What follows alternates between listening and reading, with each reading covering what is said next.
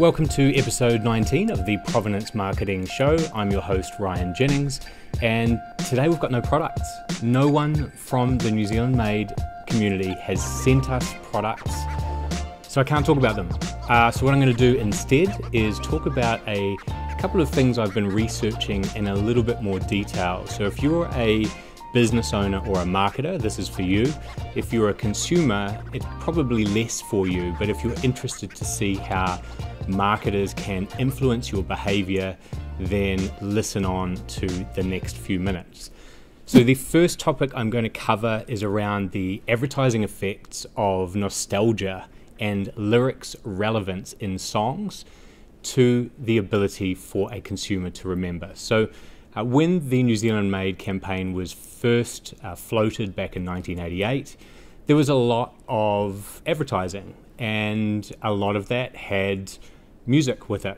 You want a breakfast that tastes good, that's quick and easy, and is nutritionally well balanced. You can do all of this with hot or cold cereal, milk, and Watties canned fruit, all in one bowl. Couldn't be easier and it'll really set you up for the day. You'll find my favourite breakfast recipes on these Watties leaflets at your supermarket. I'm sure you'll like them too. And music is kind of interesting because as the music gets older, so as we age, that music reminds us of a particular part and time of our childhood or growing up.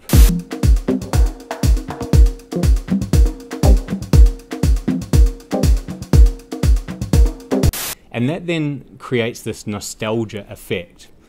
In marketing, nostalgia is powerful when done correctly. And when I was doing my research, one of the things I found is it goes beyond positive attitudes. So, if a business or a marketer chooses a song with lyrics that are relevant to the product or to the business, it has a higher affinity and it's easier for the consumer to remember.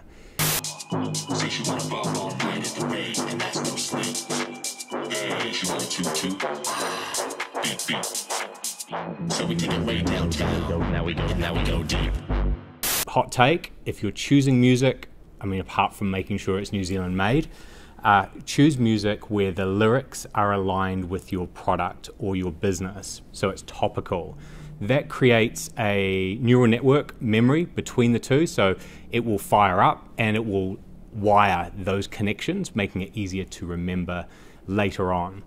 Now, the next thing I, I found that was interesting is the song doesn't need to be that oh, old. So if you as a marketer are choosing a song that's at least 10 years old, it will induce nostalgia effects. If your marketplace is baby boomers, yes, it's going to work because a baby boomer has been around for 60, 65 years on the planet.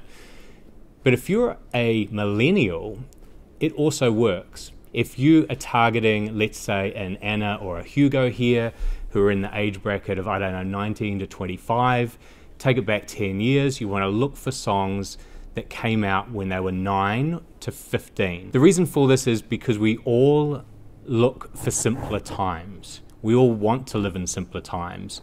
And we think it was simpler in the past, not now, and not in the future. And the reason I talk about song lyrics is because not a lot of us are using them as marketers and business owners because on the newsfeed, everything auto plays on video and it's silent. And I think there's an opportunity there, particularly if you're getting into the podcast game. Uh, or if you're looking at ways of getting a audio sonic brand to go along with your visual branding.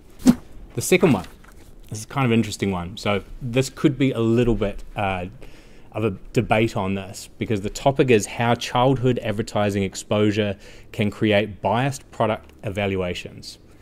So you as a kid, or me, or any of us, we are exposed to advertisements, to marketers' content. That content, it has been proven, will affect our product choices not just when we are a child, like between the ages of, I don't know, 0 to 13, but it affects our bias in what we buy for the rest of our lives. Now, marketers have known this for some time and probably used it to great effect, but not necessarily with the best health consequences, particularly when it comes to certain types of products that maybe are high in sugar or high in fat. Now, the research around this says that it doesn't necessarily have to be a bad product to have that product bias evaluation. So, what it made me think of is what are the big issues that we all care about now around sustainability, around recycling, around leaving the planet in a better state for our kids and grandkids? What could a social enterprise marketer do to take advantage of that knowledge that someone between the ages of 0 and 13 is more likely to care about those three topics if they're exposed to it as a child. So, one thing you can do is you can create characters. Absa Kiwi Lootly. After all, the rest of the world is. And when you see this Kiwi, you've got a deal. You can create fun learning characters, you can create educational games. All of those types of things can be positive for society and actually positive for child as well as positive for your social enterprise. But the third angle on this is, is to look at it as a vulnerability that being able to influence kids under the age of 13 with marketing messages, whether they're good or bad, is actually unethical in itself. And there should be public policy around it to limit the potential for harm to our most vulnerable or most youngest. And that's probably the one that I err on the side of. I think there's plenty of time for marketers to do great work, and we don't need to necessarily rely on our children uh, or us when we're kids to make product decisions. It should be a time to just be a child. So I'll leave that one with you. Comment below if you think the uh, ads should be banned for kids under the age of 13 or whether that should be used for a force for good uh, or maybe some other comments you have on this particular topic. So, those are the two topics for this week. It's been a short episode. I hope to get some more uh, products from our manufacturers in the next week. If you're watching this, send them through. We've got an empty desk at the moment. If you like this format and would like to see more of it, comment below or uh, subscribe on the podcast and maybe send me a message on Twitter. My Twitter handle is at business kiwi, and that's the show for this week. See you next week.